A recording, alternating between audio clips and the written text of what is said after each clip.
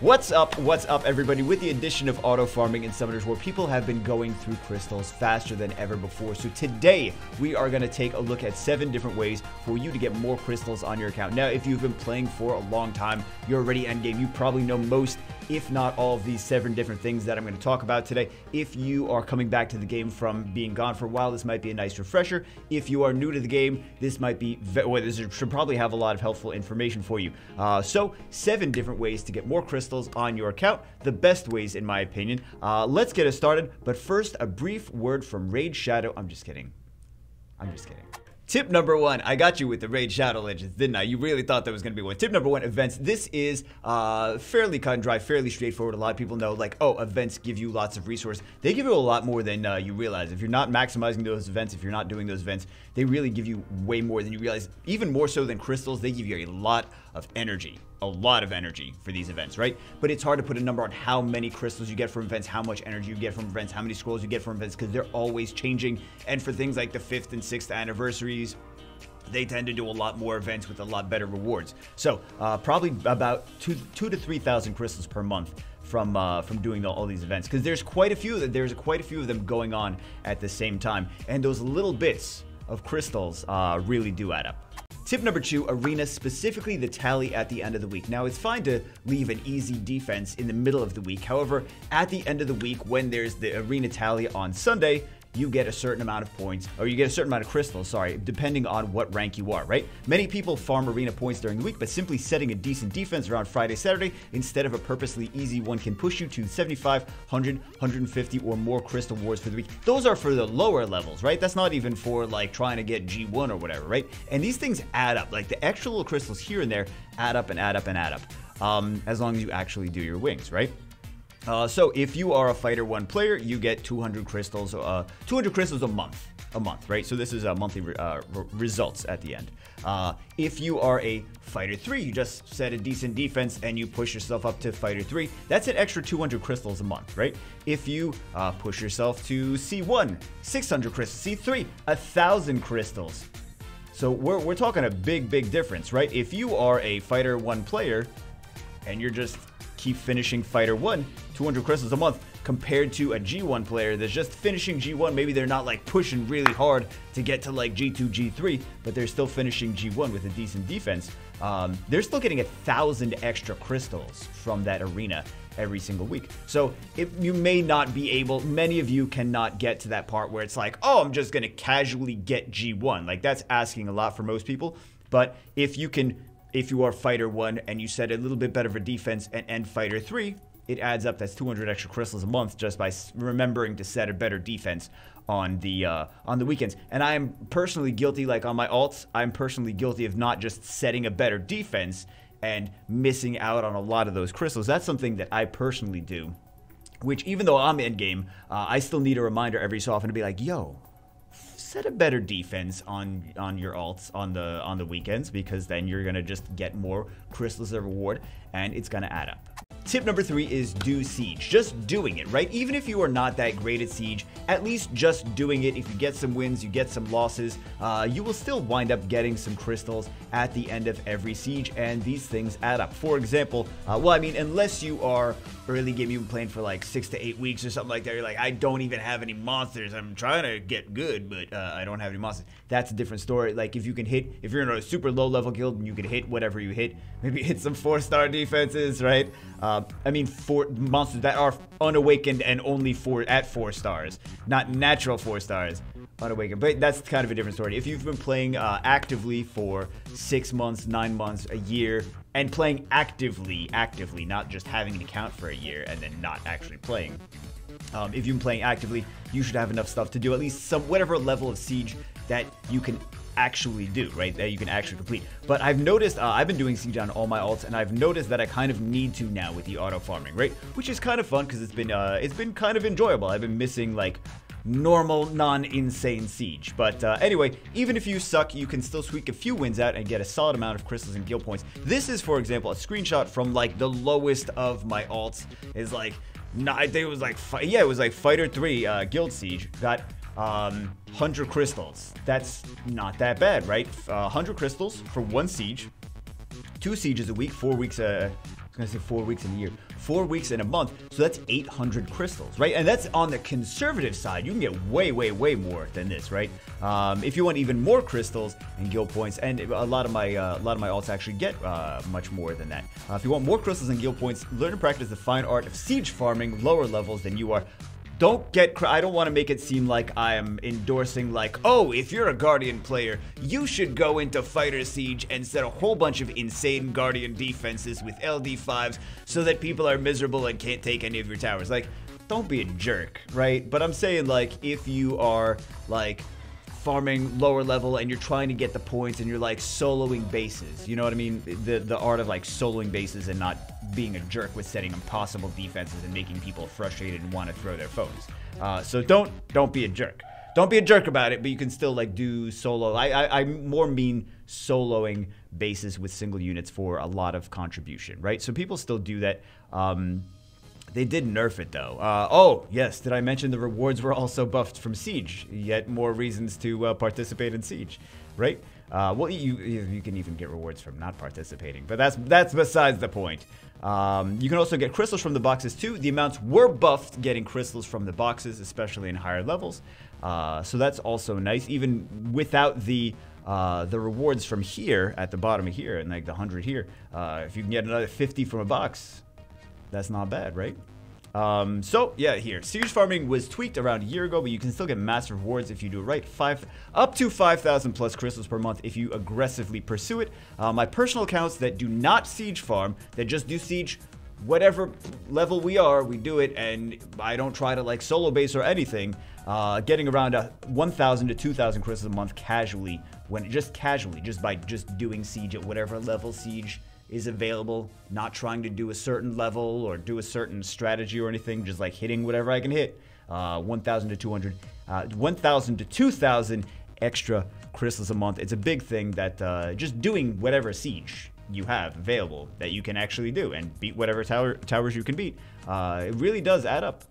Tip number four, do your arena rivals. This seems extremely obvious, right? It seems extremely obvious, but you would be surprised how many people I see all the time that don't do their arena rivals. They're like, oh, Bagel, I don't do PvP. Like, okay, but you just complain that you're out of crystals and you don't do PvP, and you complain that you don't do Dragons B, uh, you, you can't do Dragons B10, you can't do Giants B10, but you don't have any towers upgraded. I'm kind of getting off topic, aren't I? Right? You don't have any towers upgraded because you didn't do any arena, you didn't do any PvP because you don't do PvP. But at least do your rivals. At least do your It's basically, it's not really even PvP. arena rivals are basically like the PvE version of PvP, right?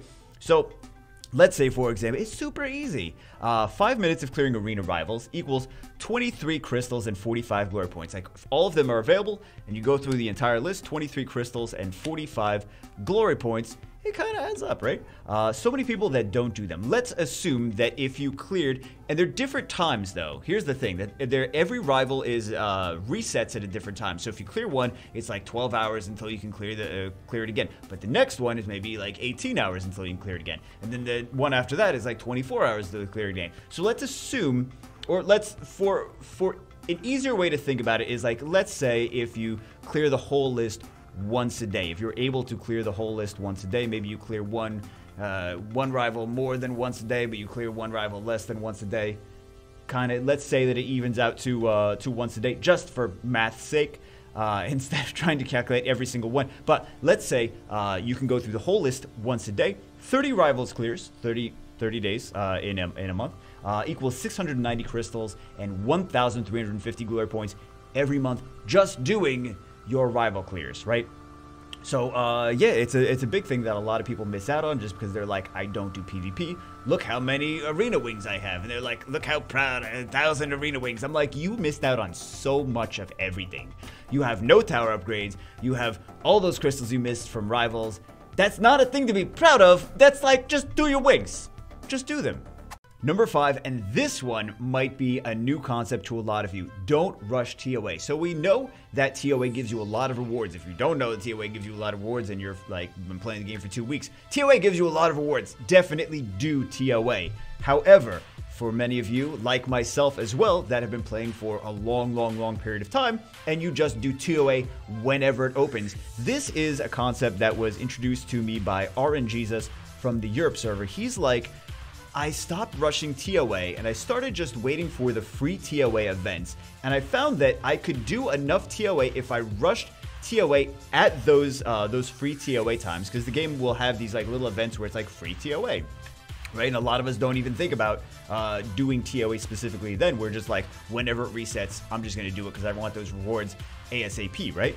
Uh, so you actually save two to three hundred crystals worth of uh, savings with energy refreshes if you wait for the free TOA and you try to blast through stages as fast as you can on uh, on those. So he says he, uh, I think he said he saves close to 300 crystals for himself because he tries to do it fast. But if someone was slower, a little bit more on the mid game side of the spectrum uh, or less, then they probably save like 150 to 200 crystals. But still, that's a decent amount of crystals just by waiting for waiting do TOA at the time when uh, when it gives you the free TOA. It's just so simple, such a simple concept that I was just like, I was, for me personally, I was like, I don't care.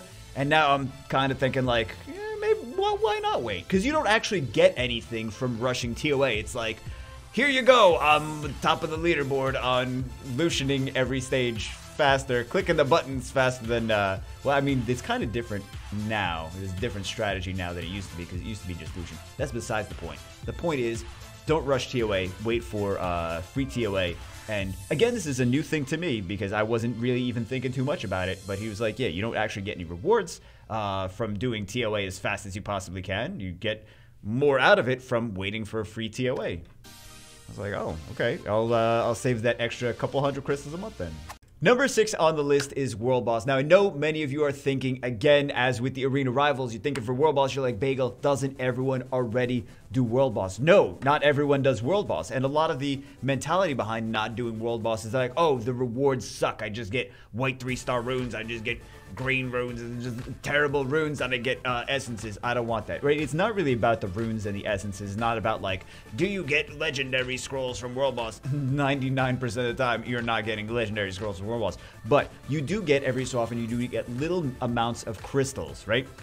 Uh, not always. It's RNG. It's based on RNG. If you get the crystals, you don't get the crystals. Sometimes you do. Sometimes you don't. Sometimes you use more energy than crystals you get. Sometimes you get more crystals than energy. And of course, the higher level you can actually get in the world boss, the better the rewards are. The more likely you are to get crystals, the more crystals you will get uh, in there. But it's really not about the crystals in every box that you get, even though sometimes they're pretty nice. It's about at the end of when the world boss is defeated, the rewards you get from the crystals there. So you can get quite a decent amount of crystals. And remember, it happens multiple times a month. So you can get a quite a decent amount of crystals throughout the course of the month to uh, supplement your crystal intake. And I see a lot of people still not doing this. Now, I mean, it's less important to do this if you're like, get, if you're like early game, you're getting F ranks. You're like, I'm gonna keep getting F ranks. It's like you don't have to worry so much about it if you're early game, but like the more you progress, the longer you play. If you're playing six months, nine months, a year, or more, then the better the rewards are going to be, and the more it's actually just going to be more of a gain than anything else, right?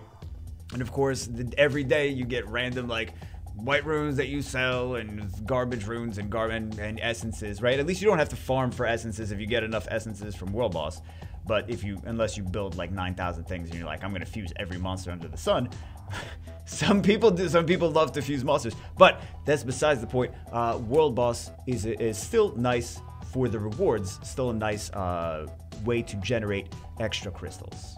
And last but not least, number seven on the list. Not really personally my favorite way to get crystals, but I figure I would include it because I know a lot of people go for this every single day. They're like, I gotta make sure that I get all the do every single one of my dailies, and then unlock that last one and get the extra crystals from that. So if you're in the if you're in the super free to play every little bit counts group, this is something you probably already do, but it's still uh, not correct grammar, uh, but it's probably still worth mentioning. Uh, and I know people are going to complain if I don't mention it, right? Even though I personally don't like this, I personally don't care too much about this. But between the regular missions and the bonus missions, 25 crystals per day adds up to 750 crystals per month.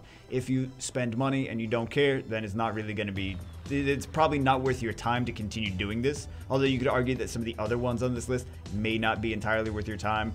Um, but I still think that it's worth mentioning because I know other people care about it. So even if I don't personally uh, care about the dailies, I personally, I'm, I have so many accounts, man. I'm not gonna do every single daily on every single one of my accounts. But if you guys have one account and you are free to play, this is something that you should probably consider doing, right? So 750 crystals per month is actually it's not it's not that bad especially and all that all these things add up. Like if you get 500 to 600 from here and you get 200 to 300 from here and you get 700 from here and you get a thousand from there all these little things just continuing to implement all these different things will help you uh, be free to play uh, and have the resources that you need for being free to play.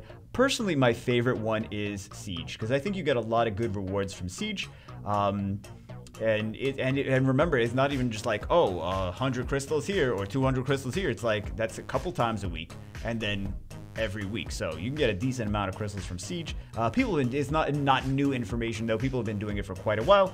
But uh, anyway i just wanted to mention it all because there's been a lot of people that have been complaining lately about like i have no crystal so i figured i'd go over some of the best ways to get crystals uh, in the game uh, because we haven't really touched on it in uh, quite a while. Anyway, that's it for this one. Hope you guys enjoyed the video. Hopefully it was helpful. Maybe you guys, uh, just maybe it's a refresher for some people because I know there's a lot of people that have already been playing for so long that they're like, I already know all this stuff but maybe it's a nice refresher to like keep it in your mind of like, oh, maybe I should consider doing this. Maybe I should consider doing that. Maybe I should actually do my siege battles, right? Uh, anyway, that's it for this one. Hope you guys enjoyed it. Or the TOA thing, right? The rushing TOA, because it really wasn't even a thing that I was thinking about until it was uh, brought up with me, and I was like, you know what? That does make a lot more sense to just wait for the free TOA and just do it then, right? So anyway, that's it for this one. You just gotta have patience. None of us have that. anyway, that's it for this one. I will see you guys always in the next one.